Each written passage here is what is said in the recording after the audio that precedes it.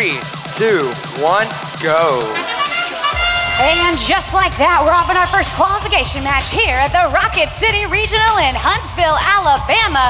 Cargo going up and in for the Red Alliance and Blue Alliance alike, some even by their human players. And just like that, we've got a four, eh, maybe even a five ball auto from Team 59, Ramtech for the Blue Alliance. We're starting it off a strong lead here, 22 to 14 in favor of the Blue Alliance.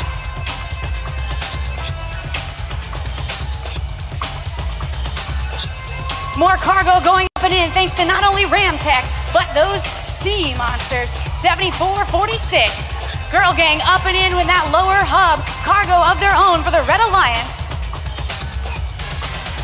Little bit of defense being played here. Congestion on the Red Alliance side of the field. Innovation Vault trying to slow down their opposing alliance there.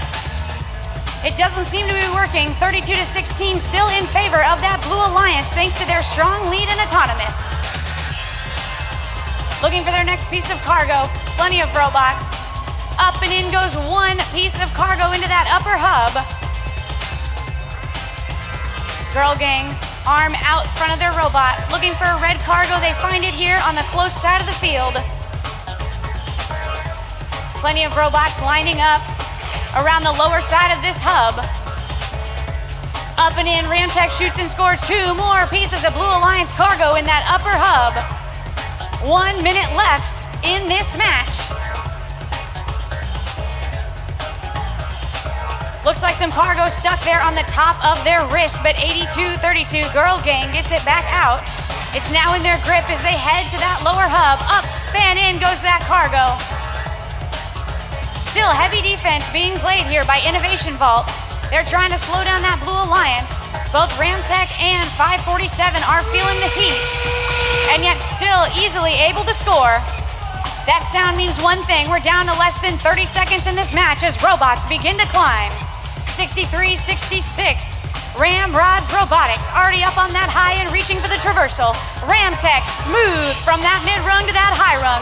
They've got 10 seconds left. Will we see more from them? Back over on the Red Alliance hangar zone. We've got one traversal and two mids. Ramtech safely on the traversal, and as time expires, we'll see how our final scores are impacted here in our first qualification match. Where the DJ rocks the floor and the Win here, final score of 61 to 47.